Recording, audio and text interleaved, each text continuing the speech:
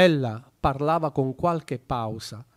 Aveva la voce così insinuante che quasi dava la sensazione di una carezza carnale e aveva quello sguardo involontariamente amoroso e voluttuoso che turba tutti gli uomini ne accende d'improvviso la brama.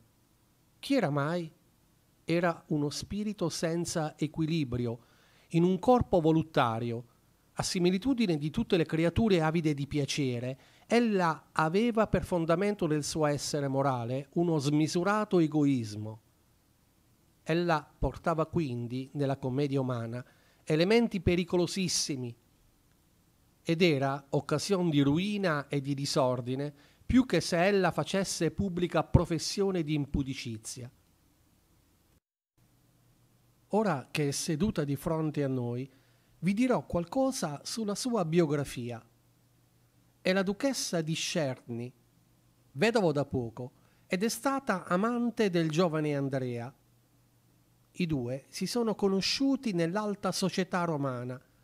Sono molto simili, entrambi amanti dell'arte, della rarità, della ricercatezza, spregiudicati e opportunisti ma dei due Elena è la più forte. Elena e Andrea hanno avuto una storia d'amore, breve ma intensa. Ad un certo punto Elena va via da Roma, ritornando nella capitale solo dopo qualche anno.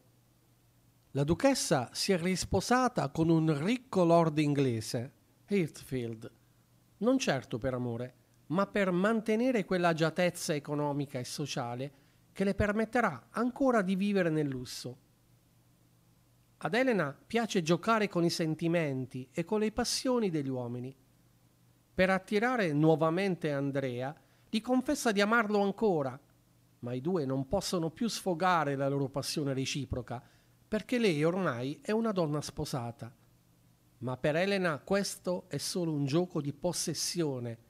Infatti intreccerà altre storie d'amore ma non con Andrea.